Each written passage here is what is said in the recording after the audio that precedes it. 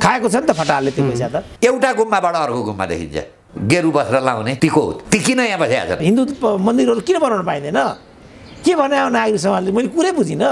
चिनलाई कुनै न कुनै काउचो अमेरिकाले हालिदिन्छ। त्यो काउचो हाल्ने ठाउँ चाहिँ नेपाल बाहेक अर्को रहेनछ अब अहिले लोकतन्त्रको नाममा जुन किसिमको छाडावाद हाबी छ यो हदबाट उनीहरूले त्यहाँभित्र चाहिँ अँ, द्वन्द्व गरेका थिए। अब नेपालमा राजा चाहियो भनेर भारतले भन्नुपर्छ। त्यो माओवादी पनि नेपालमा भुटान बनाउका लागि आएको चिज हो ल उनलाई एकछिनलाई लाल गद्दार मानु भने पनि अँ, बाबुराम र हामी त एक ठाउँमा छौँ भनिरहेका छन् प्रचण्डले। कुनै पनि सरकार पाँच वर्ष चलेन तर यो पात्रलाई दम दिने मान्छे भनेको विदेशी नै छन्। अब यिनीहरूको मुड हेर्दाखेरि त यो प्रतिशोध हो नमान्ने भन्ने कुरा आयो। त्यसपछि के हुन्छ? शान्ति प्रक्रिया भङ्गाउँदैन अपरेसन गर्ने भने त मान्छे मार्ने हो नि एकचोटि त। खराब चिज हो तर आवश्यक छ।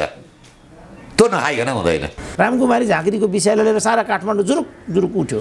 अनि भागीरथी भट्टको विषयमा त खोइ त नागरिक समाज त खोइ त राजा महेन्द्रले पञ्चायत त्यसै ल्याएको होइन रहेछ। त्यो उनको बाध्यता रहेछ। पूर्वजले बनाएका जति पनि पुरातात्विक महत्त्वका सामग्रीहरू हुन् ती सामग्रीमाथि हात हाल्ने अधिकार हामीलाई छैन। सत्र हजार मान्छे मार्नु दरबार हत्याकाण्ड हुनु र चाहिँ नेपालमा गणतन्त्र आउनु यत्तिका लागि होइन। कि अब त उनको टुप्पी पनि देखिँदैन त्यहाँ त। चुर्लुमे डुबेको अवस्था देखिन्छ। त यस्ता टुप्पी डुबाइसकेका प्रचण्डले यहाँ अमेरिकन आयो भने तिमी दुइटैलाई ठेगान लाउँछ है? नेपालको विषयमा तिमीहरू मिल। एकरो सुनको जलरी किन सुनको जलरी किन? खोइ बागमती सफाइ खोइ बागमती सफाइ बरु यो भनौँ न। उसले के भन्छ भने बेबी किङ भन्छ। बेबी किङ भनेको के हो त भन्दाखेरि भुटान हो फेरि। प्रचण्ड यो पदको लागि होइन भन्दैछन्। तर प्रचण्डका सबै भाषणहरूमा मैले पदभन्दा अरू एक शब्द पनि सुनेको छैन। चाइनिज पनि यो कुरो बुझेको छ चाइनिजले।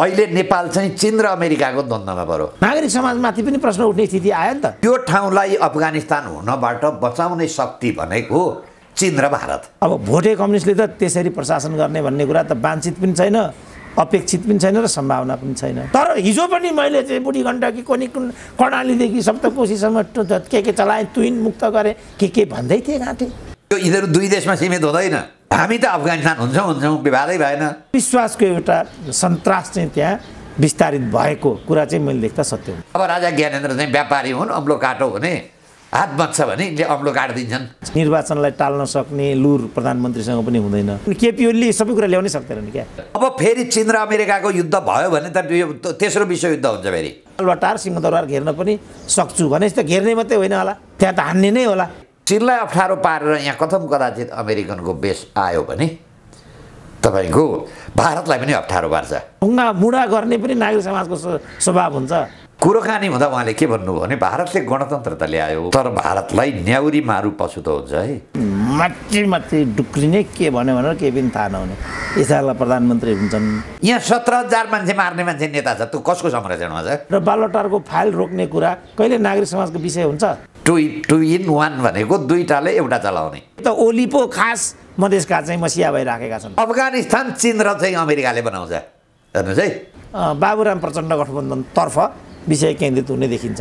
सिक्किमको सँगसँगै नेपाल जान सक्थ्यो यी यी तिन चारवटा घटना यत्तिका लागि होइन। यसको परिणाम अरू गहिरो परिणाम छ गहिरो। अब अहिले ती जम्मै ढलमती भएका छन्। खरदारले पनि भेट्दैन। नेग्लेक्ट गरिदिन्छ। गिरिजा प्रसाद भइरहल त हलदार। नेपालबाट असुरक्षा महसुस गरौँ। रक्तपातको पुनरावृत्ति हुने सम्भावना प्रबल देख्छ नागरिक समाजले खालि केपी ओली निरङ्कुश भए राजतन्त्र ल्याउन आँटे हिन्दू राज्य ल्याउन आँटे हिन्दू मन्दिरहरू स्थापना गर्दै गए। त हिन्दू मुलुकमा हिन्दू मन्दिरहरू स्थापित गर्दै गएको कुरालाई के कपाल दुखाएको विषय बनाउने? धार्मिक असहिष्णुता भयो धार्मिक हिंसा भयो भने ठिक छ। धार्मिक स्वतन्त्रतामाथि व्यवधान भयो भने ठिक छ। त्यो नहुँदै कसैले क्रिस्चियनको कुरा गर्छ कसैले बुद्धिस्ट कुरा गर्छ भने हिन्दूवालाले पनि हिन्दुत्वको कुरा गऱ्यो भने त्यो कति चर्चाको विषय हुन्छ र जहाँ एट्टी टू पर्सेन्ट स्वाभाविक रूपमा हिन्दूहरू बसोबास गर्छन्। यहाँ त भनेकै छ हरेक चाहिँ गल्छिडामा र कुइनेटामा मन्दिरै मन्दिर छन्। काठमाडौँ सहर त मन्दिरको सहर रहेछ भनेर त आजभन्दा दुई सय वर्ष अगाडि कर्कपेटीले लेखिराखेको छ। अनि त्यस्तो मुलुकमा हिन्दूले एउटा चाहिँ हिन्दू मन्दिर बनायो भने त्यो कहिले चर्चाको विषय हुन्छ? तर यहाँ त भइराखेको छ अहिले। त यो चाहिँ के भने नागरिक समाज यही गरौँ भनेर ढुङ्गा हान्दै हिँडेका छन्। बस यो चाहिँ विषय हो यसले चाहिँ विषय बिगार्छ मैले देख्दा। जस्तो अहिले सुनको जलहरी त्यहाँ हाल्ने भन्ने कुरा आयो। कुनै आश्चर्यको कुरा त होइन। मैले त कुनै आश्चर्यको कुरा होइन। यो कुरा गरौँ बरु किन सुनको जलहरी मात्रै? बागमती सफाइ किन हुँदैन? यसमा डिस्कसन गरौँ न बरु। त्यहाँ त्यस्तो बागमती छ अरूतिर सुनको जलारी हालेर के हुन्छ? अब तर यतातिर बहस छैन। नागरिक समाजको यता बहस यता छैन। बस एकरो सुनको जलरी किन सुनको जलरी किन? खोइ बागमती सफाइ खोइ बागमती सफाइ बरु यो भनौँ न। किनभने हाम्रो सबै मैले देख्दाखेरि पनि टुकुचाको पानी चुमतीको पानी बागमतीको पानी सबै पानी पिउन लायक थिए आजभन्दा तिस वर्ष अगाडि। ठ्याक्कै पिउन लायक थिए। अब अहिले ती जम्मै ढलमती भएका छन्। त्यो ढललाई कसरी व्यवस्थापन गर्ने? त्यतातिर डिबेट लैजाउँ न बरु। काठमाडौँलाई कसरी सफा सुग्घर बनाउने? यो त के भने प्राचीन सहर हो नि। प्राचीन स्मारक ऐन र चाहिँ वर्ल्ड हेरिटेज युनेस्को नियम अनुसार पनि यो तरिकाले चाहिँ काठमाडौँ सहरलाई चाहिँ अस्तव्यस्त गर्नु नपाइने हो। जो जो दरबार हाई स्कुल नै उनीहरूले पुनर्निर्माण गरे। अहिलेको पिँढीलाई अब थाहा भएन नि त्यहाँ कस्तो थियो भनेर। जस्तो अहिले हाम्रो चाहिँ रानी पोखरी पुनर्निर्माण गरे धरारा पुनर्निर्माण गर्दैछन्। हाम्रो यो पाटन दरबार स्क्वायर अनि पचपन्न झ्याले दरबार र चाहिँ यो हनुमान ढोका दरबार काष्ठ मण्डप सबै रिकन्स्ट्रक्सन भइरहेछ नि त अहिले। युनेस्को पुरातात्विक चाहिँ निर्देशिका अनुसार नै त्यो गर्नै पाइँदैन नि। यो यो जुन असन बजार छ यसलाई जस्ताको तस्तै राख्नुपर्छ। अहिले भाइको पिँढीलाई पनि मैले अहिले सोधेँ भने के कुरा थाहा छैन भने जुन अनाम नगर पुतली सडकबाट अनाम नगरतिर जाने सडक हो त्यो सडक त सिंहदरबारभित्र पर्छ नि। त्यो तोड्न पाइँदैन नि। सिंहदरबार त पुरातात्विक जस्ताको तस्तै राख्नुपर्छ नि। अब नौ वर्षपछि गएर सिंहदरबार बनेको सय वर्ष पुग्छ। के को स- नौ वर्षपछि? उन्नाइस सय आठमा बनेको भनेपछि एक सय वर्ष पुगेर यति आएछ। त्यो त पुरातात्विक हो नि। त्यो त चलाउनै पाइँदैन नि। पूर्वजले बनाएका जति पनि पुरातात्विक महत्त्वका सामग्रीहरू हुन् ती सामग्रीमाथि हात हाल्ने अधिकार हामीलाई छैन। रानी पोखरी पनि उस्तै राख्नुपर्छ हामीले। धरारा पनि उस्तै राख्नुपर्छ हामीले। घन्टाघर उस्तै राख्नुपर्छ। दरबार हाई स्कुल उस्तै राख्नुपर्छ। अरू पार्टी पौवा र मन्दिर मस्जिदहरू चाहिँ पर्छ नै पर्छ। त्यतातिर एक दिन बहस विमर्श नगरेर नागरिक समाजका कार्यक्षेत्र त ती पो हो नि त। केपी ओलीको ठाउँमा प्रचण्ड प्रधानमन्त्री ल्याउने बा शेरबहादुर माधव कुमार प्रधानमन्त्री ल्याउने कुरा र बालोटारको फाइल रोक्ने कुरा कहिले नागरिक समाजको विषय हुन्छ? तर नागरिक समाज त्यहाँ गइराखेको देख्छौँ हामी। ढुङ्गा मुडा गर्ने पनि नागरिक समाजको स्व- स्वभाव हुन्छ। नागरिक समाजको त नागरिकहरूको बिचमा चाहिँ सम्बन्धको सेतुको काम गर्ने दायित्व पो नागरिक समाजको हुन्छ त। ढुङ्गामुडा नागरिक समाजको काम हो। राजनीतिक एजेन्डा नागरिक समाजले गर्ने काम हो। मैले भनिहालेँ मङ्सिर पनि काटेर जस्तो अहिले म्यानमारमा हामी हेरौँ न। म्यानमारमा चाहिँ सैनिकले के गर्यो भनेदेखि यो जुन नेटवर्किङहरू नेटवर्किङ सबै अवरुद्ध गरिदियो।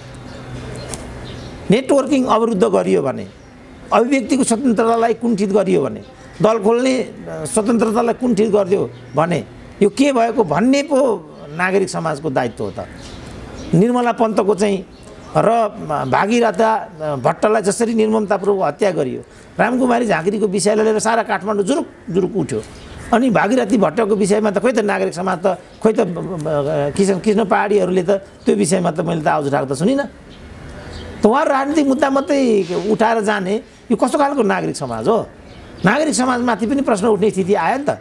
त्यस कारणले अहिले मैले देख्दा केपी ओलीलाई वारन मात्रै हो खबरदार वैशाखको चुनाव दाहिने देब्रे गरौला? सर्वोच्चलाई भन्ने खबरदार सर्वोच्च अदालत समयमा निर्णय नगरेबाट निर्वाचनको प्रक्रियामा व्यवधान भयो भने खबरदार भन्ने काम मात्रै नागरिक समाज हो।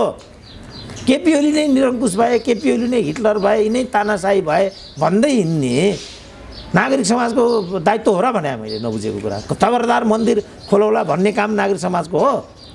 मन्दिर खोल्न पाइँदैन नेपालमा। चर्च त खोल्न पाइन्छ। बिहार बौद्ध बिहार त खोल्न पाइन्छ। अनि हिन्दू मन्दिरहरू किन बनाउन पाइँदैन? के हो नागरिक समाजले? मैले कुरै बुझिनँ। हामी पनि फन्डामेन्टलिस्ट त होइनौँ नि। म आफै कट्टर पन्थमा विश्वास गर्दिनँ।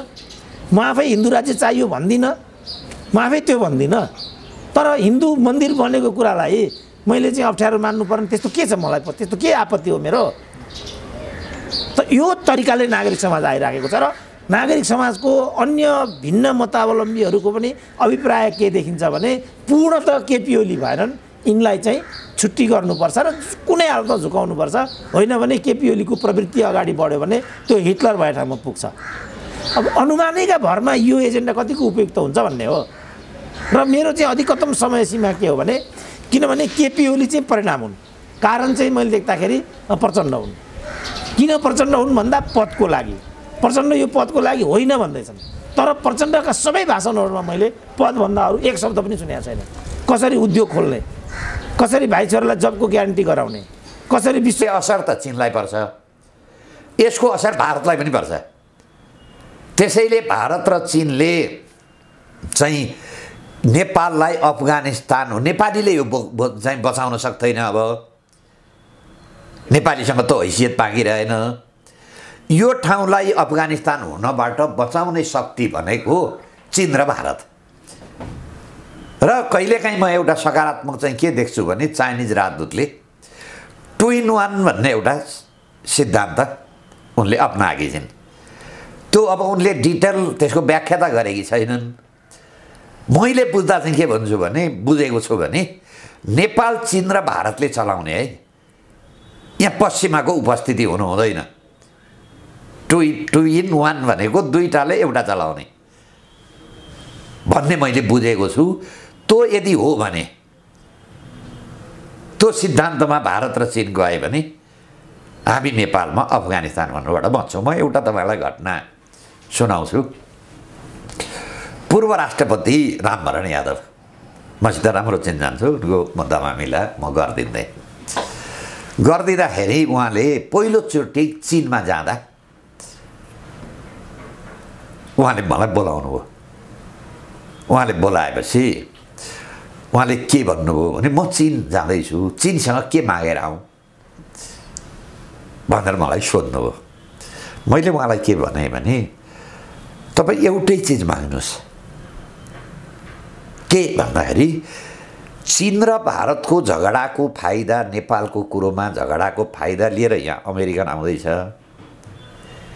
यहाँ अमेरिकन आयो भने तिमी दुइटैलाई ठेगान लाउँछ है। नेपालको विषयमा तिमीहरू मिल। त्यति मागेर आउनुभयो भने यो देशका लागि धेरै ठुलो कल्याण हुन्छ। बाटो नमाग्नुहोस् उद्योग नमाग्नुहोस्। नेपालका कुरामा तिमी मिल है। तिमीहरू चाहिँ दुईवटा भारत र चिनको झगडाले यहाँ झगडाको फाइदा लिएर अमेरिकन आउँछ। अमेरिकन आयो भने तिमीहरू दुइटैलाई तेल निकाल्छ। भनेपछि सायद उहाँले भन्नुभयो भन्नु भएन। त्यसपछि मेरो भेट भएको छैन। त्यसपछि उनीहरू चाहिँ चिनबाट यहाँ फिर्ता भएर आएपछि अन्मिन नेपालबाट हिँड्यो नभए संसारबाट काहीँ पनि संयुक्त राष्ट्रसँग आएपछि फिर्ता भएर गएको छैन। जुन जुन देशमा संयुक्त राष्ट्रसँग छिर्छ त्यो देशमा गयो भने अशान्ति नै हुन्छ। नेपाल मात्र यस्तो एउटा देश हो जुन देशमा संयुक्त राष्ट्रसँग अन्मिन आएपछि अन्मिन के हो त भन्दाखेरि फिर्ता जानु पऱ्यो त्यसैले म चाहिँ एउटा सकारात्मक के हो भने त्यो चिजले काम गर्यो कि? अरू चिन र भारतका बिचमा आफ्ना धेरै ठुला समस्या होलान्। ठुल्ठुला समस्या छन्। तर नेपालको कुरोमा चाहिँ उनीहरू मिले भने मात्रै एउटा के हो भने यो देशमा चाहिँ के हो भने अफगानिस्तान हुन सक्दैन। अर्को एउटा रहेछ यो फेरि यसमा गणतन्त्रको कुरो जोडिन्छ। तपाईँको संसारमा धेरै गणतन्त्र भएका देश चलेका छन् विकास पनि भएका छन् त्यसमा मैले नेता भन्नु परेन। नेपालमा गणतन्त्र चाहिँ तिनवटा आधार भएको भए गणतन्त्र चल्छ नेपालमा। एउटा चिन र भारतको बिचमा मित्रता एउटा यो नेपाल यहाँभन्दा अरू कुनै ठाउँमा भएको भए अर्को पार्टी नेपालमुखी भइदिया भए हेर्नुहोस् है। चिन र भारतको बिचमा मित्रता छैन प्रतिस्पर्धा छ। पार्टी छन्। एउटा चिनमुखी एउटा भारतमुखी नेपालमुखी पार्टी छैन। चिनमुखी यहाँ सरकारमा आउने बित्तिकै भारतले के भन्छ? चिन चाहिँ काठमाडौँ आइपुग्यो अब मेरो दिल्लीलाई खतरा छ भनेर उसले सरकार गिराउन थाल्छ। अनि भारतमुखी मान्छे चाहिँ सरकारमा आउने यो के भन्छ भने ल पार दिल्ली चाहिँ काठमाडौँ आइपुग्यो अब मेरो तिब्बतलाई खतरा छ भनेर सरकार गिराउँछ। जुन अहिलेको सरकारदेखि लिएर बैसठी त्रिसठी सालदेखि यता त्योभन्दा अगाडि पनि जाउँ। कुनै पनि सरकार पाँच वर्ष चलेन। त्यसको आन्तरिक कारण होइन। आन्तरिक यसका के हो भने कार्य चाहिँ यसका पात्रहरू होलान्। तर यो पात्रलाई दम दिने मान्छे भनेको विदेशी नै छन्। कि एउटा भारतीय छ? के एउटा चाइनिज छ? चाइनिज कतिखेर सक्रिय हुन्छ? यहाँ तपाईँको चाहिँ भारतीय खालको पार्टी मान्छे भारतको झन्डा बोक्ने भारतको चाहिँ तपाईँको चाहिँ राम्रो भन्ने मान्छे आएपछि ऊ सक्रिय हुन्छ।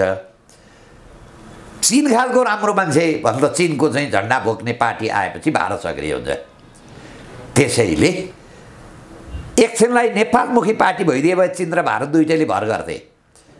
यो न यसले चिनको झन्डा बोकेको छ न भारतको झन्डा बोकेको छ। यसले त नेपालकै झन्डा बोकेको छ है। यो मलाई योभन्दा बढी चाहिँ असर गर्दैन यसले। योभन्दा अगाडि भन्नुहोस् न तपाईँको।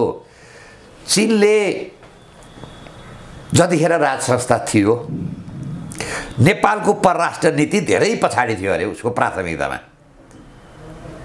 अहिले नेपालमा गणतन्त्र आइसकेपछि प्राथमिकता चाहिँ एक नम्बरमा राखेको छ। चाइनिजको परराष्ट्र नीतिमा उसले हेर्नुपर्ने चाहिँ देशहरूमध्ये एक नम्बरमा नेपाल छ।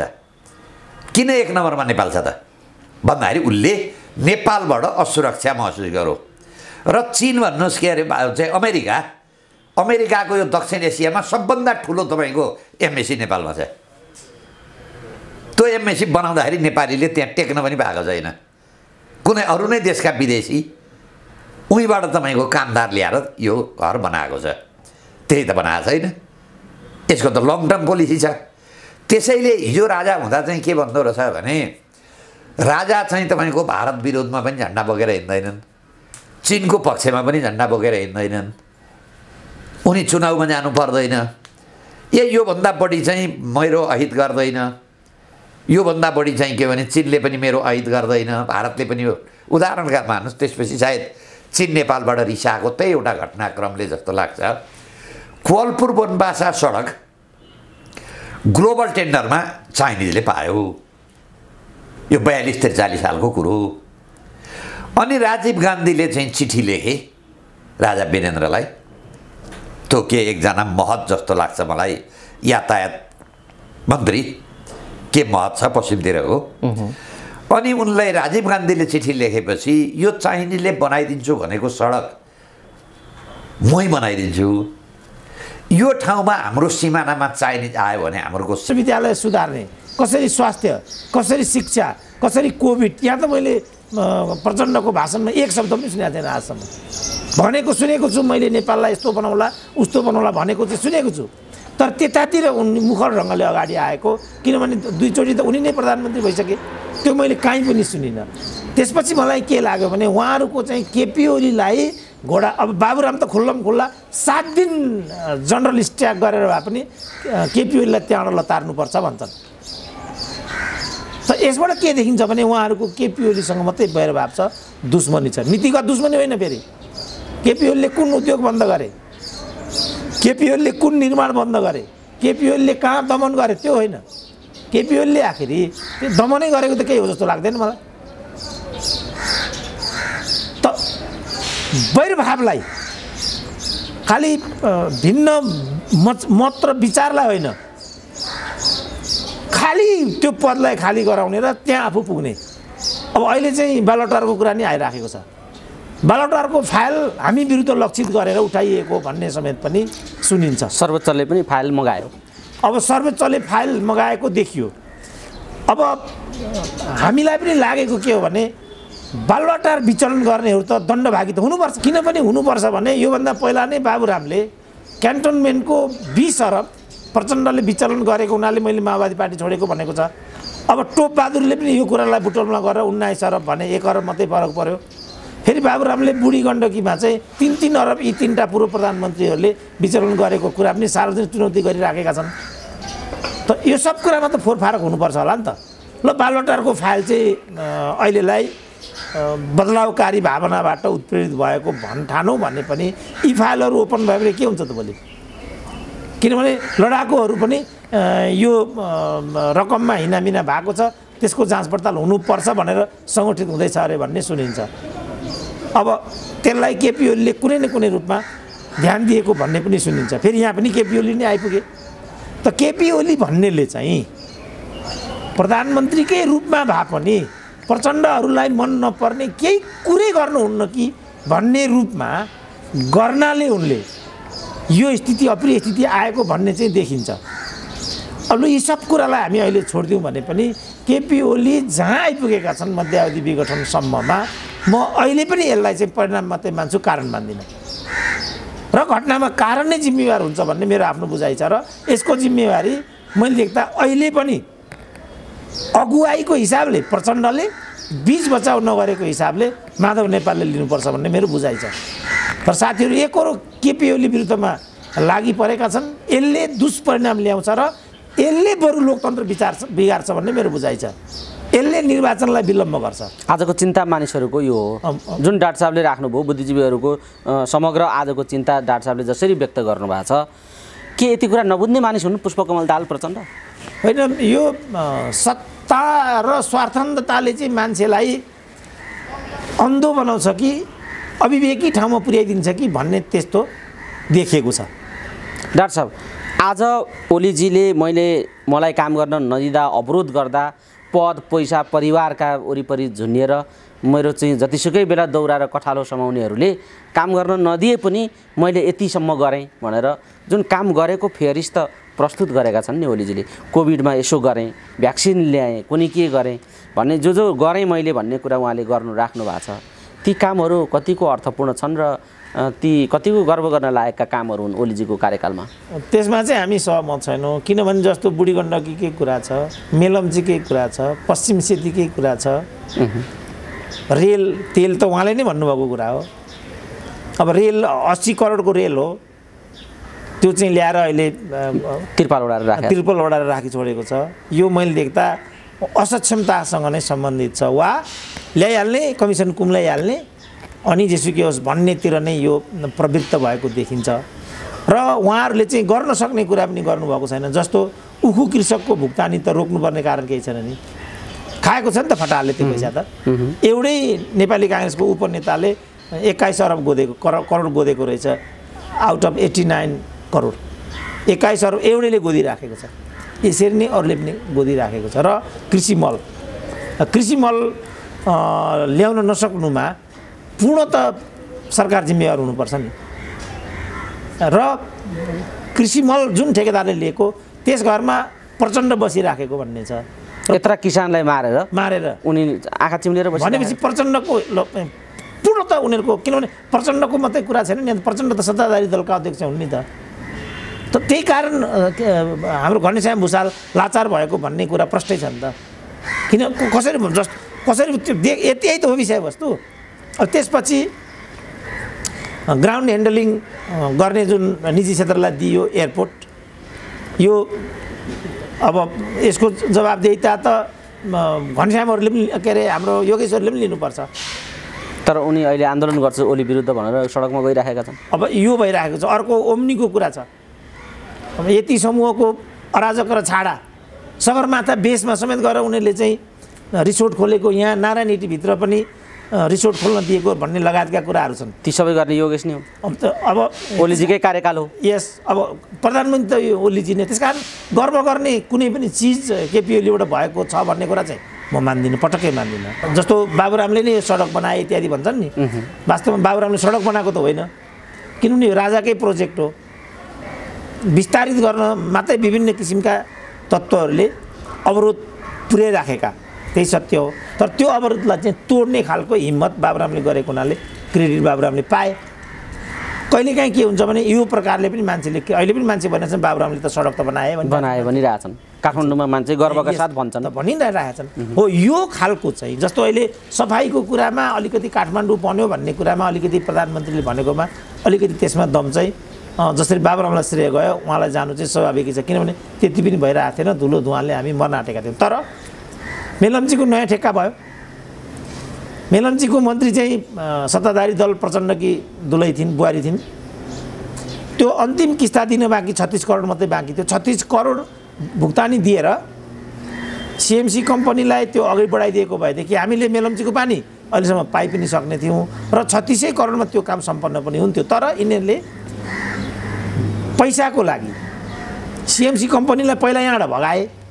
सिएमसी कम्पनीलाई यहाँ भगाएर नयाँ ठेक्का चाहिँ यिनीहरूले खोले र त्यो नयाँ ठेक्का चाहिँ दुई अरब बाहन्न करोडमा भएर त्यो त्यही प्रचण्डको घरबेटीलाई पारेको भनेर म सुन्छु।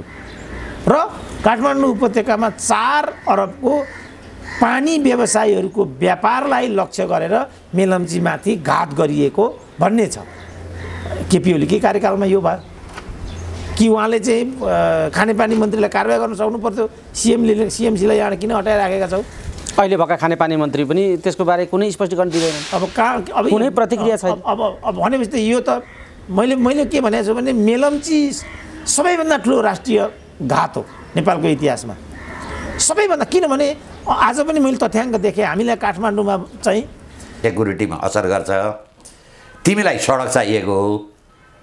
मै सडक बनाइदिन्छु भनेर चिठी लेखु। राजा वीरेन्द्रले त्यो चाहिँ के मतलाई तपाईँको यातायात मन्त्रीबाट हटाएर चाइनिजले पाएको ग्लोबल टेन्डर भारतलाई दिए। त्यसपछि कोलपुर बनबाजा सडक भारतले पायो। यसैमा म जोड्छु जब यहाँ गणतन्त्र आइसकेपछि वरिष्ठ अधिवक्ता गणेशराज शर्मासँग यस्तै हाम्रो कुरोकानी भयो। कुरोकानी हुँदा उहाँले के भन्नुभयो भने भारतले गणतन्त्र त ल्यायो तर भारतलाई न्याउरी मारु पशु त हुन्छ है एक दिन अब नेपालमा राजा चाहियो भनेर भारतले भन्नुपर्छ जुन कुरो अहिले भारतको तपाईँको सचिव पूर्व सचिव रमेश के भन्नेले एउटा लेख लेखेर पाँच छमा हामीले गल्ती गऱ्यौँ अब चाहिँ के हो भने सत्ताइस सालको संविधानमा जानुपर्छ र चाहिँ के हो भने नेपालमा राजा चाहिँ छ। राजा पनि उसले बेबी किङ भनौँ जो बैसठी त्रिसठी सालको बेबी किङको कुरो हो। त्यसैले यो चाहिँ तपाईँको नेपाललाई अफगानिस्तानबाट बचाउन सक्ने हैसियत पहिले आफ्नो नेपाली जनताको त हुनै पऱ्यो त्यसपछि भारतको हुनै पऱ्यो तेस्रो शक्ति चाहिँ नेपालीलाई अकालमा ज्यानबाट बच्न सक्ने हैसियत नेपालको राज संस्था बाहेक अरू कसैसित छैन। कसैलाई मन परोस् कसैलाई मन नपरोस् त्यो आफ्नो ठाउँमा छ। तर कोरोनाको बिरामी लागेपछि मन परे पनि नपरे पनि तपाईँले भ्याक्सिन दिनु पऱ्यो नि। तपाईँलाई ठुलो रोग लागेपछि हस् के अरे अपरेसन गर्न तपाईँलाई मन पर्दैन। तर अपरेसनमा त जानु पऱ्यो त्यसैले यो रोगको औषधि मन परोस् अथवा मन नपरोस् दुइटै शक्तिले भर गर्ने। हिजो भन्नुहोस् त तपाईँको। राजा महेन्द्रले एक्काइस बाइस सालको कुरो। अमेरिका र रुसको शीतयुद्ध छ। दुई ध्रुवमा विश्व बाँडिएको छ। एउटा स्याटो छ एउटा नाटो छ। रुससँग पनि त्यत्तिकै शक्तिशाली देशका देश पछाडि लागेका छन्। त्यतिखेर राजा महेन्द्रले यी प्रतिस्पर्धी देशलाई चारा देशको सहयोग लिएर महेन्द्र राजमार्ग बनाए।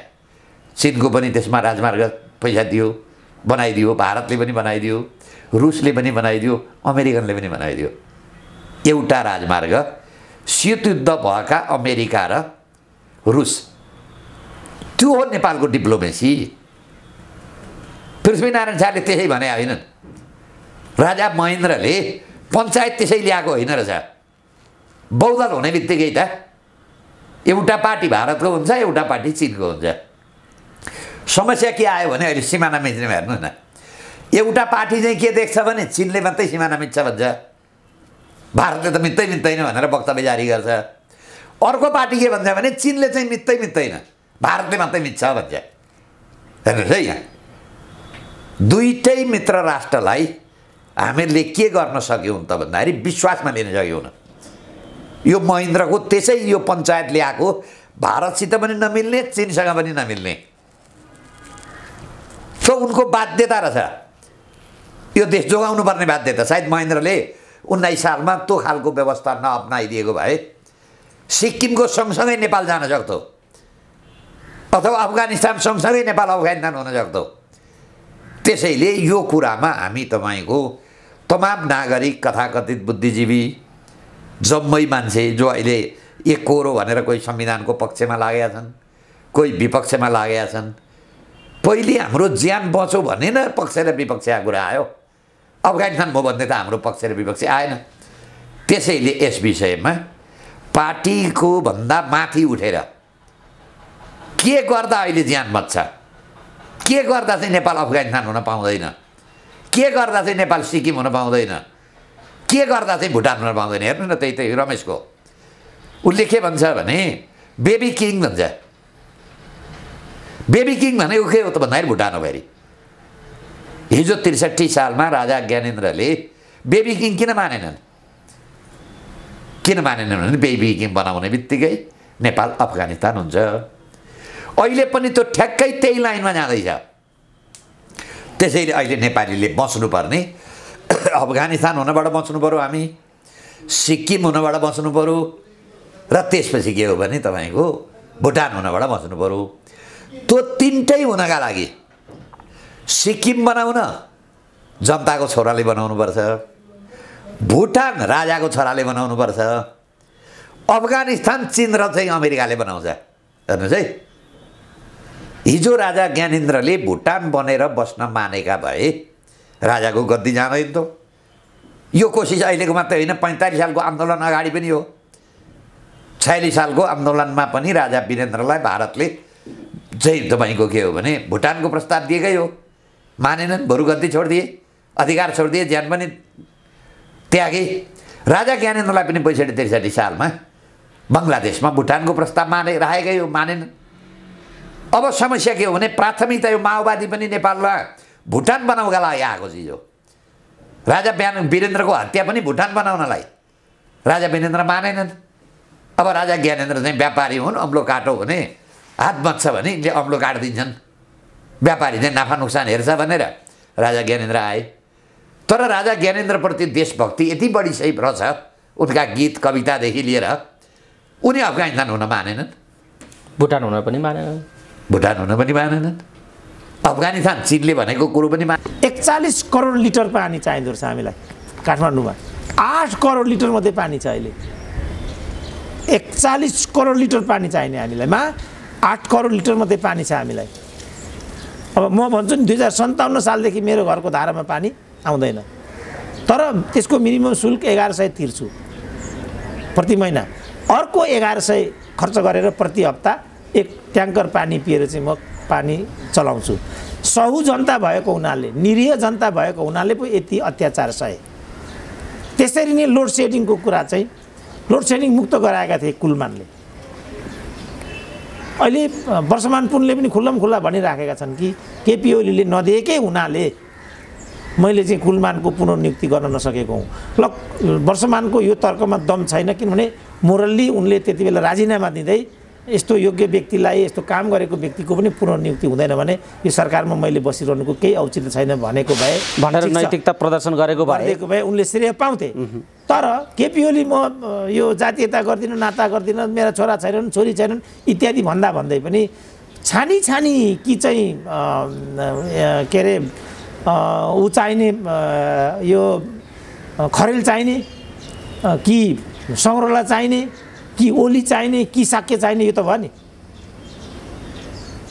त्यस कारणले गौरव गर्न लायक त प्रधानमन्त्रीले अवस्था छोडे जस्तो मलाई लाग्दैन। अघि पनि हामीले भन्यौँ आफूले गरेको भनिएर भन्न चाहेका कुराहरू धारा प्रभाव भन्न सक्ने जुन दृढोक्ति र आत्मविश्वास केपी ओलीमा देखिने गर्छ। त्यो चाहिँ मैले लेख्दा अभूतपूर्व छ। त्यो चाहिँ निकै लोभ लाग्दो छ। त्यो कसरी त्यो आउँछ केपी ओलीबाट म छक्क पर्छु। किनभने हाक्की हाक्की रेलको कुरा गरेको छ तेलको कुरा गरेको छ पानीको कुराहरू छ खानीको कुराहरू छ त्यो त केही पनि भएको छैन नि। तर हिजो पनि मैले चाहिँ बुढी गण्डकी कोनी कुन कर्णालीदेखि सप्तकोशीसम्म के के चलाएँ तुइन मुक्त गरेँ के के भन्दै थिएँ घाँटे छक्क पर के भनिरहेको छ बुढो भन्ने लागिराखेको थियो मलाई। यो चाहिँ मलाई अचम्म लाग्छ। अन्यथा केपी ओलीहरूले पश्चाताप गर्नुपर्नेछ? किनभने उहाँहरूले दुई तिहाईको दुरुपयोग गर्नुभएको छ। उहाँहरूले कम्युनिस्ट पार्टीलाई बदनाम गर्नुभएको छ।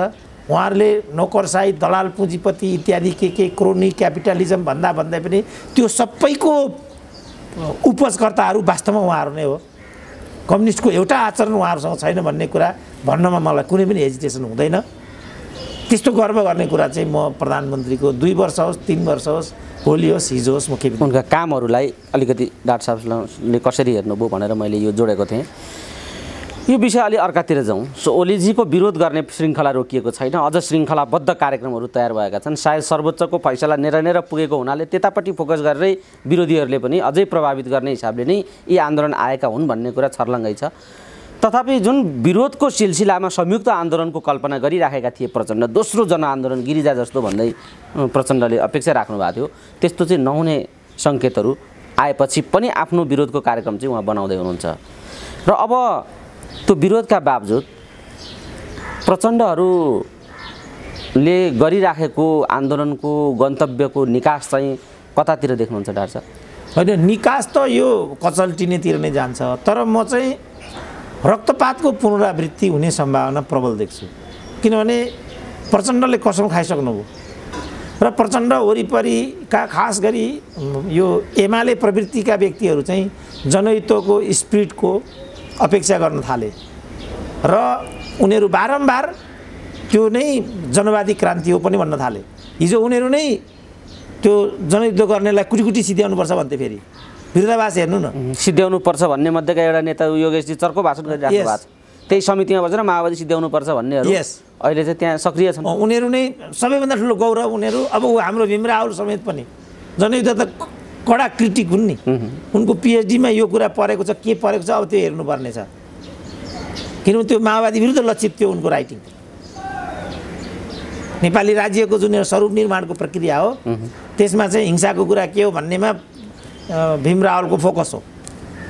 अब लेखेको र गरेकैमा फरक पऱ्यो भने ती विरोधाभास उत्पन्न हुन्छ। अब माओवादी पक्षधर त यी यसै पनि मांसाहारी आन्दोलनको कुरा गरि नै आएका छन्। प्रचण्डले पटक पटक म चाहिँ माओवादी सेनापति हुँ र मैले आवश्यक पऱ्यो भने केपी ओलीलाई भित्तैसम्म पुर्याउन सक्छु वा दस लाखको चाहिँ जुलुस लिएर बालुवाटार सिंहदरबार घेर्न पनि सक्छु। भनेपछि त घेर्ने मात्रै होइन होला। त्यहाँ त हान्ने नै होला। त्यसपछि के हुन्छ त त्यहाँ? त्यस्तो बेलामा अर्को पक्षबाट पनि कि शक्ति प्रयोग गर्नु पऱ्यो कि सरेन्डर गर्नु पऱ्यो चाउचुस्की जस्तो कि लखेडी लखेडी मार्नु पऱ्यो कि केपी ओलीलाई। यदि त्यो स्थिति आयो भने पनि रक्तपातकै कुरा हुन्छ होला। राज्य रमिता आएर त बस्दैन होला। त्यसले त मुठभेडै ल्याउँछ होला। हिंसा नै ल्याउँछ होला। त्यस कारण मलाई के लाग्दैछ भने अब माओवादीको माओवादीकालीन जुन हत्या हिंसाको प्रवृत्ति हो त्यसको पुनरावृत्ति हुने सम्भावना म प्रबल देख्छु। जस्तो यिनीहरू चाहिँ यो प्रतिशोधी राजनीतिको बाटो अगाडि बढ्दै बढ्दै गए भने बालोटारको फाइललाई नै सक्रियतामा ल्याइयो भने भ्रष्टाचार विरोधी अभियान अर्थात् भ्रष्टाचारका मुद्दाहरूलाई हेर्ने कुरा कुरामै यो स्थिति पैदा गराउने यसलाई भ्रष्टाचारको मुद्दालाई नै राजनीतिकरण गरिदिएर फेरि बबन्डर गर्ने खालको सङ्केत त देखियो नि त डाक्टर अब भनौँ न, जस्तो अब बालुवाटार हेर्ने बित्तिकै मानव माधव नेपाल दोषी ठहरिए भने अदालतले ठहर्यो र सजायका भागीदार भयो भने सिङ्गो पङ्क्ति नै हिंसामा उत्रिन सक्ने त्यसको विरुद्धमा उत्रिन सक्ने त्यो त भनिसक्यो त रामकुमारले माधव कुमार नेपाललाई छोएर हेर प्रचण्डलाई छोएर त्यो त कुल्लम खुल्ला चुनौती हो अब हिजोसम्म फेरि तिनै मान्छेहरू भ्रष्टाचार भयो यहाँ अत- भ्रष्टाचार गरे ओलीले भ्रष्टाचारीलाई कारवाही गरेन भन्थे तिनै मानिसहरू। यहाँ त भ्रष्टाचार भन्नाले खरदार बैदार आफ्नो पार्टीभन्दा परका मान्छे मात्रैलाई कारवाही गर्ने विषय चाहिँ भ्रष्टाचार रहेछ भन्ने बुझ्यो अहिले आएर। किनभने बाबुरामले नै भनिसकेको छ कि बुढी गण्डकीमा नौ अरबको घोटाला भएको प्रमाण मसँग छ। सरकारले माग्यो भने म दिन्छु भन्दै तयार छु। पूर्व प्रधानमन्त्री हुन् नि। अब पूर्व प्रधानमन्त्रीले भनेको कुरा पनि हचुवा मान्ने हो भने त मैले केही पनि भन्नु छैन। उही मलाई बजारका लाल बुझकरहरूले तैँले बोलेर के हुन्छ भने जस्तो। अब ठिक छ त्यसो भने मैले नै बोले जस्तो बाबुरामको बोली पनि हो भने त मैले केही पनि भन्नु छैन। उन्नाइस हजार लडाकुलाई लडाकु भएका ठाउँमा चौतिस हजार भनेर फेरि त्यहाँ पनि गोदाइको कुरा पनि सार्वजनिकै छ। अब त्यो कुरा हिजो यो कुरा पनि आधिकारिक मैले एकदम सुनेको छु। यो कुरा चाहिँ यही कारण मैले माओवादी छोडेको भनेको छ बाबुरामले। बाबुरामले भने हिजो चाहिँ भट्टले पनि भने के अरे टोपबहादुरले पनि भने। अब टोपबहादुरले अब अब अवसरवादी भन्ने आरोप लगाइराखेका छन् लाल गद्दार पनि भनिरहेछन् उनीहरूले। ल उनलाई एकछिनलाई लाल गद्दार मानु भने पनि बाबुराम र हामी त एक ठाउँमा छौँ भनिरहेछन् प्रचण्डले। अब त्यो केस मानिलिउँ त्यो फाइलले चाहिँ खुल्यो र अख्तियारले आफूलाई अगाडि बढायो र त्यो हात चाहिँ खुमलटारसम्म पुग्यो भने त्यसलाई त्यो कारबाहीलाई मानेनन् भुटान हुन पनि मानेनन्। त्यसैको सजाय उनले भोग्दैछन्। त्यसैले अब संविधान पार्टी नेताभन्दा माथि उठेर अब फेरि चिन र अमेरिकाको युद्ध भयो भने त यो तेस्रो विश्वयुद्ध हुन्छ फेरि। यो यिनीहरू दुई देशमा सीमित हुँदैन। हामी त अफगानिस्तान हुन्छौँ हुन्छौँ विवादै भएन। तेस्रो विश्वयुद्ध पनि हुनसक्छ त्यसैले हामी यसतर्फ गयौँ भने हाम्रो चाहिँ तपाईँको नेपालीको जसरी अफगानिस्तानमा काल नआइकन मान्छे मरिरहेका छन्। नेपाली पनि काल र एउटा तपाईँको याद गर्नुहोस् सामान्य पुष्पकमल दाल ठुलो मान्छे होइन। तिनले सत्र हजार मान्छे मारे। तिनको उदय भयो। नेपालमा गणतन्त्र आयो दुई सय चालिस पचास वर्षको राज संस्था दरबार हत्याकाण्ड भयो। यी यी तिन चारवटा घटना यत्तिका लागि होइन। यसको परिणाम अरू गहिरो परिणाम छ गहिरो। किनभने ज घटना जति तपाईँको चाहिँ क्रिया गर्नुहुन्छ त्यत्तिकै प्रतिक्रिया आउँछ नि। काण्ड त यत्तिका लागि तपाईँको चाहिँ के हो भने सत्र हजार मान्छे मारे हो नि त होइन नि। यत्तिका लागि दरबार हत्याकाण्ड त्यत्रो एउटा एउटा मान्छेको वंशै नाश भएको होइन नि? त्यसैले म चाहिँ के बुझिरहेको छु भने अहिले नदेखिएका पर्दाभित्रका धेरै घटना खुल्न बाँकी छ। हामी नेपालीले त्यो कुरो देख्छौँ कि देख्दैनौँ हामी कति पछाडि देख्छौँ? हामी चाहिँ के भने नजिकै मात्रै देख्दा रहेछौँ। अलिक टाढाको कुरा देख्दा रहन्छौँ। अब चाहिँ नेपाली जनताले अलिकति टाढाका कुरा हेरौँ है। अमेरिका र चिनको पनि कुरो हेरौँ। यो अघि मैले भने पुष्पकमल दालको उदय पनि हेरौँ र तपाईँको दरबार हत्याकाण्ड पनि हेरौँ र दुई सय चालिस वर्ष पुरानो राज संस्थाको बहिर्गमन पनि हेरौँ। संसारमा मान्छे मार्न पाइँदैन। यहाँ सत्र हजार मान्छे मार्ने मान्छे नेता छ। त्यो कसको संरक्षणमा छ उनकी श्रीमतीको उपचार गर्न अमेरिका जाँदा तपाईँको रेड कर्नर नोटिस नोटिस छ तपाईँको पक्राउ गुरुजी। त्यो सस्पेन्ड गरेर उसलाई उपचार गर्न दिएको छ। त्यो कायमै छ अहिले। त्यसैले अरू ठुल्ठुला दुर्दिनहरू म चाहिँ के हो त भन्दाखेरि अगाडि देखिरहेको छु। अब यसबाट कसरी बच्ने? हामी नेपाली जनताले कुन पार्टी आउने कुन संविधान राख्ने कतिवटा संहिता बनाउने कतिवटा प्रदेश बनाउने त्यो अब बाँकी रहेन। यो भन्नुहोस् न चिन र अमेरिकाको। ताना तान छ नि हेर्नुहोस् त। हिजो त मलाई मलाई थाहा छ मैले पढेको छु सिक्किमको इतिहास। त्यहाँ कस्तो देखिन्छ भने एकचोटि राजालाई तपाईँले भारतले भ्रमणमा बोलाउँछ। एक ग्रेडको स्वागत गर्छ। स्वागत गरेर आफ्नो देशमा फर्केपछि अनि एउटा सन्धिमा सही गर्न दिन्छ राजालाई। अनि राजा के विचार गर्छ भने भारत मसित एकदम खुसी भएको रहेछ। यत्रो एक ग्रेडको स्वागत गरौँ। यो कागजमा सही गरिदिएन भने भारत रिसाउँछ। यत्रो खुसी भएको भारतलाई त रिसाउनु त दिनु भएन भनेर सही गरिदिन्छ। अनि फेरि अर्कोचोटि भ्रमणलाई बोलाउँछ। खरदारले पनि भेट्दैन। नेग्लेक्ट गरिदिन्छ। अनि फेरि आफ्नो देशमा गएपछि के गर्छ भने फेरि सन्धिमा एउटा कागजमा सही गर्न दिन्छ अनि उ मनमा के सोध्छ भने भारत रिसाएको रहेछ मलाई राम्रो स्वागत गरेन यो कागजमा सही गरौँ भने खुसी हुन्छ कि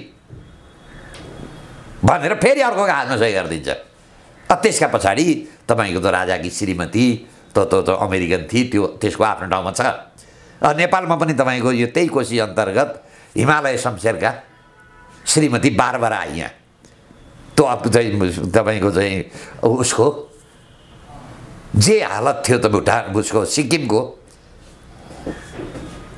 त्यस्तै हालत यहाँ पनि गर्न खोजियो। तर त्यो अहिले पनि सफल भएको छैन। बारबार त्यही आगे होइन। त्यो त सिक्किमको तपाईँको राजा चोग्यालकी पनि श्रीमती एउटी के कोक भन्ने छ। अर्किड लेन्डु दोर्जेको पनि तपाईँको एउटी श्रीमती विदेशी नै छ। त्यतिदेरको भूमिका देखिन्छ ती महिलाहरूको। र यहाँ पनि बारबार आएर सायद अहिले बारबार पनि छैन होला बितिसकिन् बितिसकिन् त्यो हुँदा पनि केही गर्न सकिएन त्यसैले हाम्रा पुर्खाहरूले बुद्धि पुर्याएर बचाएको देश अब हाम्रा यो पुस्ताका मान्छेले हामीहरूले लय लयमा लाग्यौँ भने यो देश र आउँदा हाम्रा सन्ततिले सबभन्दा बढी दुःख पाउँछन् यसतर्फ हामीहरूले सोच्नुपर्छ बालकृष्ण सर यो परिस्थिति परिवेश नबुझेरै हाम्रा नेताहरू पार्टीहरू यो लडन्त भिडन्त गरिरहेका हुन् त? हो यो त सही हो। नबुझेर नबुझेर भन्दा नि कस्तो हुन्छ भने? कारिन्दा भएर हो कि? कारिन्दा भएर। एजेन्ट भएर। यो सडकले कसलाई निषेध गर्न खोजेको? सत्ताले कसलाई विस्थापित गर्न खोजेको यो बताइदिनु यो यो सडकले चाहिँ यो बाह्र मुद्देलाई निषेध गर्न खोजिरहेको छ सडकले चाहिँ। सत्तावालाले चाहिँ उनीहरूलाई यो लामो कुरै थाहा छैन उनीहरूलाई। उनीहरूलाई खालि आफ्नो स्वार्थ मात्रै थाहा छ। अब कति लामो अहिलेका प्रधानमन्त्रीले कति अगाडि जान सक्छन्? नेता मतलब पार्टीका नेता मात्रै हुन् कि राजनेता हुन्? अरू त कोही रहन्छन् खड्ग ओली पनि के अरे प्रचण्ड पनि नेता मात्रै रहेछन्। शेरबहादुर पनि नेता मात्रै रहेछन्। बिपी बरु राजनेता थिए। यो यो यो कुरोहरू बिपीले बुझेका थिए। राजा महेन्द्रले बिपीलाई आठ नौ वर्ष जेल हाले। फाँसी हुने मुद्दा लगाइदिएछ त्यो मान्ने मान्ने कि नमान्ने त? अब यिनीहरूको मुड हेर्दाखेरि त यो प्रतिशोध हो नमान्ने भन्ने कुरा आयो। त्यसपछि के हुन्छ? शान्ति प्रक्रिया भङ्गाउँदैन म त्यहाँ पुग्ने जस्तो देख्छु विषय। डाक्टर साहब यही सन्दर्भमा प्रचण्ड जसरी हारगुहार गरेर काङ्ग्रेससँग पुग्नुभयो शेर शेरबहादुरजीले खोलेर भनिदिए काङ्ग्रेस आन्दोलनमा जाँदै थिए रामचन्द्र आन्दोलनको पक्षमा बोल्न खोजिराख्नु भएको थियो। अहिले गगन अलिक चर्केर बोलिराख्नु भएको छ नत्र भने काङ्ग्रेस आन्दोलनमा जाने मनस्थितिमा देखिँदैन। तपाईँले पनि भन्नुभयो काङ्ग्रेस जाँदैन। बुद्धिजीवीहरूले त्यही सल्लाह दिएको काङ्ग्रेसलाई भन्ने पनि सुनिन्छ।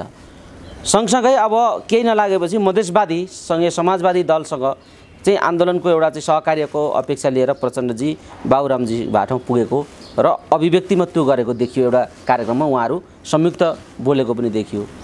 तर त्यहाँ उल्टै बाबुरामले चाहिँ प्रचण्डका अपेक्षाहरूलाई उपे उपेक्षा गरिदिए भनेर चर्चा पनि उठेको छ। बाबुरामसँग प्रचण्डले राखेको अपेक्षालाई तपाईँले कसरी निहाल्नुभयो? र त्यसमा बाबुरामको प्रस्तुति कस्तो छ कसरी हेर्नुभयो डाक्टर साहब? यी दुईवटा सहकार्य गरेर जान सक्ने सम्भावना कतिको छ? नसक्ने कारण के हो? सम्भावना छैन। नसक्ने कारण के हो भने बाबुराम आफै त्यो समाजवादी पार्टीमा शरणार्थी हुन्। मूल प्रवाहका नेता होइनन्। त्यहाँ उपेन्द्र बोलेकै छैनन्। अन्य मधेसवादी दलहरूले संविधान राजेन्द्र महतोहरू बोलेकै छैनन्।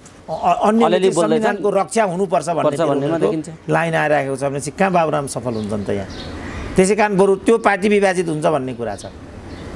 र त्यहाँका मधेसवादी नेताहरू एक एकपछि अर्को ओलीसँग आइराखेका छन्। र अहिले त ओली पो खास मधेसका चाहिँ मसिया भइराखेका छन्।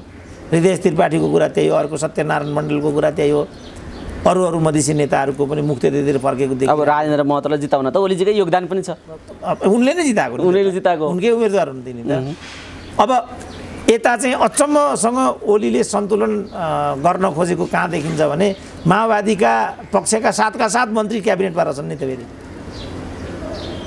र यो माओवादी चाहिँ को वैधता प्रचण्डै हो कि होइन भन्ने पनि प्रश्न उठ्ने देखियो। किनभने त्यसको प्रारूप खडा गर्ने मात्रै एक बादल यतैतिर बर्साइराखेका छन् भन्ने पनि सुनिएकै छ। भनेपछि त बडा विडम्बनाको स्थिति देखा पर्छ र त्यो विडम्बनाको एउटा नमुना भनेको बाबुराम प्रचण्ड गठबन्धनतर्फ विषय केन्द्रित हुने देखिन्छ।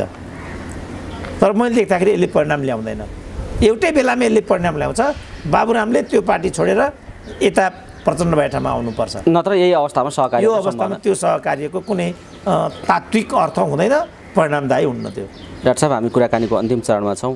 अब समग्रमा जसै अस्थिरता र द्वन्द्वको स्थितिमा हामी पुगेका छौँ ओलीजीका अगाडि कस्ता किसिमका चुनौतीहरू छन् र प्रचण्डजीहरूले कस्तो चुनौती मोल्नुपर्ने देखिन्छ? झट्ट जनताले बुझ्ने गरी बताइदिनुहोस् त। ओलीलाई चाहिँ चुनौती के छ भने एक प्रकार ओलीले विश्वास चाहिँ गुमाउँदै गरेको। किनभने ठुलो प्रहार भयो ओलीमाथि। किनभने फेरि उनले पनि पात्रहरूको छनौटमा अपरिपक्वता नै देखाएको जस्तो। किनभने उनीहरू सङ्घीयतालाई पनि हानिरहेका हुन्छन्।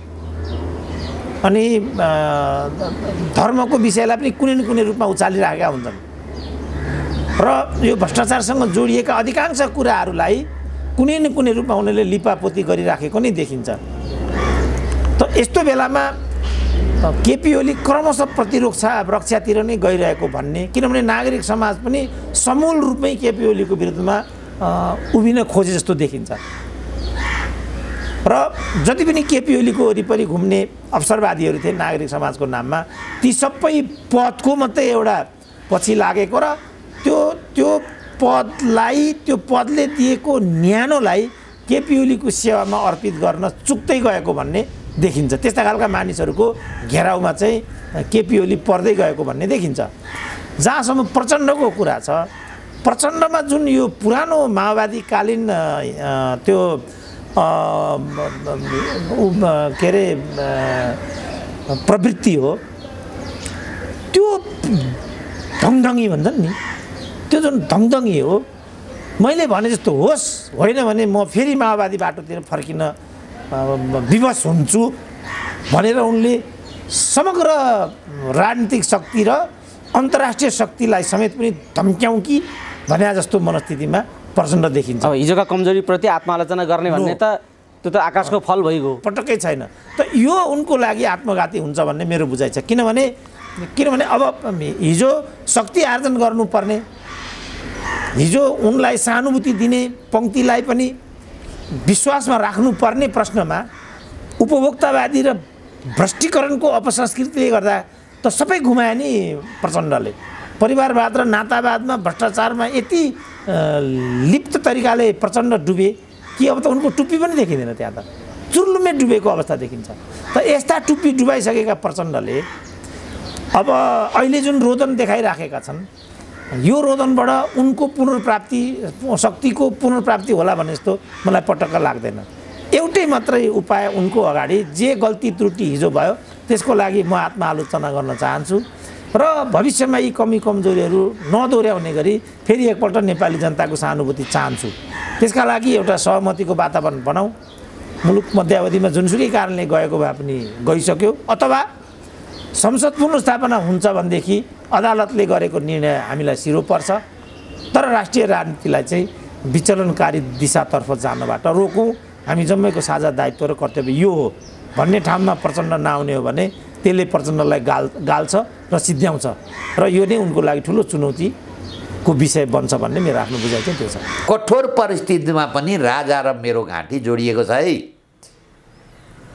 राजा सिद्ध्याउनु भनेको प्रजातन्त्र पनि सिद्धिनु हो म पनि सिद्धिनु हो। देश बचाउनका लागि राजा चाहिन्छ भनेर उनी राष्ट्रिय मेलमिलाप लिएर आए। कृष्णप्रसाद भट्टराई गिरिजा र तपाईँको चाहिँ यी शेरबहादुरभन्दा कम बुद्धिमानी हुन् होइनन् नि? काङ्ग्रेसले जब गणतन्त्रको प्रस्ताव पास गरेपछि काङ्ग्रेस सिद्धियो देश पनि सिद्धियो। अब दुई सय वर्ष नेपालमा राजा चाहिन्छ है राजतन्त्र चाहिन्छ। अब म यो यो गणतन्त्रवादी पार्टी बिपीले मा भनेको सिद्धान्त छोडेर जुन कम्युनिस्टका पछाडि लाग्यो त्यो पार्टीमा मक्यो भने साधारण सदस्य पनि छैन भनेर पार्टी छोडे। त्यस्तै परिस्थिति गणेशमानको पनि भयो। र यो घटना कहिले तपाईँलाई भन्नुहोस् भने भारतले बिपीलाई नै उठाएर यो काम गर्न खोजेको थियो। छत्तिस सालको जनमत सङ्ग्रहको परिणाम तिमी नमान? भनेर ठुलो भारतको दबाब थियो। बिपीले कथम कदाचित छत्तिस सालको जनमतको परिणाम बहुदल निर्बलको चुनावमा उनले परिणाम नमानेको भए यो अन्ठाउन्न उन्साठी सालको आन्दोलन त्यतिखेरै हुन्थ्यो बहुदलकै भए छत्तिस सैँतिस सालमै हुन्थ्यो तर बिपीले के भने भने यो मैले नमान्नु भनेको यो देशमा विदेशीको क्रीडा स्थल हुन्छ है। मैले खेल खेलिसकेपछि म यसको परिणाम मान्छु भनेर उनले त्यो हुन दिएनन्। जब उन्चालिस सालमा बिपीले को परलोक भइसकेपछि स्वर्गवास भइसकेपछि बि यो गिरिजा प्रसाद कोइराला त हल्दार बिपीलाई भने हल्दार अनि चाहिँ भारतले के गरौँ भने काङ्ग्रेस र राजालाई डाइरेक्ट कन्फर्टेसनमा लाग लगिदियो। अब त्यसमा शक्ति अर्को थपिएको भन्दाखेरि चाहिँ माओवादी थपियो। यो काम उन्चालिस सालमा बिपी नमरेका भए। यो चाहिँ के हो त भन्दाखेरि चाहिँ यो परिस्थिति आउने थिएन अनि छयालिस सालबाट अल्ट्रा लेफ्ट र चाहिँ तपाईँको चाहिँ काङ्ग्रेसलाई एक ठाउँ मिलाइदियो। त्यति गर्दा पनि राजा हटाउन सकिएन। त्यसपछि के त भन्दाखेरि चाहिँ काङ्ग्रेस र कम्युनिस्ट पनि मिलाइदियो। अनि अल्ट्रा लेफ्ट ल्याइदियो माओवादी गणतन्त्रवाला। जसलाई के भने एउटै टाट्नामा घाँसको आएपछि अनि नेपालमा गणतन्त्र आयो। त्यसैले यसका पछाडिका चाहिँ तपाईँको अघि मैले भने परिणाम यसबाट ल्याउन खोजेको परिणाम भन्नुहोस् न। कुनै काम गरेपछि त तत्काल आउने परिणाम हो कि अलिक ढिलो आउने परिणाम हो? यो परिणाम चाहिँ गहिरो परिणाम छ किनभने जति ठुला क्रिया भएका छन् नि त्यति ठुला प्रतिक्रिया भएका छैनन्। सत्र हजार मान्छे मार्नु दरबार हत्याकाण्ड हुनु र चाहिँ नेपालमा गणतन्त्र आउनु यत्तिका लागि होइन। पुष्पकमल दाहाललाई र माधव नेपाललाई र खड्गविललाई प्रधानमन्त्री बनाउने मात्रै यसको इच्छा होइन। यसको इच्छा चाहिँ गहिरो इच्छा छ अघि मैले भने। त्यो त्यो के हो त्यसभित्र लुकेको कुरा त्यो कुरो चाहिँ के हो भने हामीहरू जम्मै नेपालीले ठन्डा दिमाग बनाएर आग्रह पूर्वाग्रह छोडेर पार्टीभन्दा माथि उठेर कहिलेकाहीँ कस्तो हुन्छ भने नेसेसिटी इभिल भन्छ आवश्यकताको खराबी चिज खराब हो तर आवश्यक छ है अपरेसन गर्ने भने त मान्छे मार्ने हो नि एकचोटि त। डाक्टरले त्यसलाई मारेर अनि चिर्छ नि। अनि फेरि त्यसलाई के भने सास भर्छ बेहुर्याउँछ बन्द पर्ने होइन नि त्यो मर्नका लागि फिर्केर आउँछु आउँदैन मेरो थाहा छैन नि। जसरी मान्छे अपरेसनमा नेसेसिटी इभिलका लागि अपरेसन थिएटरमा जान्छ त्यस्तै अवस्था अहिले के हो भने राजा नम्बर नपर्न सक्छ। त्यो आफ्नो ठाउँमा होला। उसले पनि विकास गर्न सकेन त्यो पनि आफ्नो ठाउँमा होला। खराबै लाग्न पनि सक्छ। खराबै लाग्न पनि सक्छ। तर आफ्ना ज्यानका लागि। नेपालको देश पनि छोडिदिउँ देशको पनि कुरो छोडिदिउँ। आफ्ना ज्यानका लागि भनौँ न। नेपालीका हाम्रा सन्ततिका लागि। आफ्नै लागि। पनि के हो भने त्यो नेसेसिटी इभिल हुनसक्छ। खराब चिज हो तर आवश्यक छ। त्यो नखाइकन हुँदैन। त्यसैले अबको नेपालमा राज संस्था हिजो बेलायतीले जसरी दस बाह्र वर्ष परीक्षण गरेर हेरे। परीक्षण गरेर हेर्दाखेरि त्यो राम्रो परिणाम आएन। नआएपछि त्यसका सन्तान त्यतिखेर त टाउको राजा मारेर फुटबल खेले अरे टाउको। त्यति बढी रिस रहेछ त्यति बढी बे बेलायतीलाई रिस हुँदा हुँदै पनि विदेशमा निर्वासन बसेका त्यो राजाका सन्तानलाई ल्याएर अहिले राखे अहिले अहिलेसम्म देश स्वतन्त्रै छ। त्यसैले जहाँ जहाँ हेरौँ भन्नुहोस् न अफगानिस्तान पनि राजा गएपछि अफगानिस्तान भयो सिक्किम राजा गएपछि सिक्किम भयो ऊ चाहिँ तपाईँको इराक सदाम हुसेन आउनुभन्दा अगाडि त्यहाँ पनि राजा थिए सदाम हुसेनको कानमा राखेर राजा विदा गरौँ सदाम हुसेन उसैले विदा गर्नु पऱ्यो अफगानिस्तान पनि मिल्लाने आफैले विदा गरौँ त्यसैले यसतर्फ हामी के हो भने सोच्नुपर्छ यो के हो भने सामान्य कुरा यो होइन यो अलिकति गहिरो छ यसको पछाडि तपाईँ हेर्नुहोस् यी हाम्रा डाँडा डाँडा काठमाडौँमा यस्ता गुम्बा किन खोले के नेपालीले यहाँ चाहिँ अरू ठाउँमा गुम्बा बनाउने ठाउँ छैन भनेर आएको होइन तपाईँलाई याद होला एउटा तिब्बतीयन शरणार्थीलाई अमेरिका पुर्याइदिँदाखेरि ती पुर्याइदिने नेता र नेपालका नेतालाई तिस पैँतिस लाख पैसा आउँदो रहेछ त्यो पनि यहाँ कारोबार चलो हेर्नुहोस् है त्यो किन भइरहेको छ यसको पछाडि कारण के हो? के त्यो तिब्बतीयन शरणार्थीलाई माया लागेर यी दुःख पाए भनेर अमेरिकनले लगेर राखेको होइन? उसको स्वार्थ छ नि। कसैलाई थाहा छ यो सरकारलाई?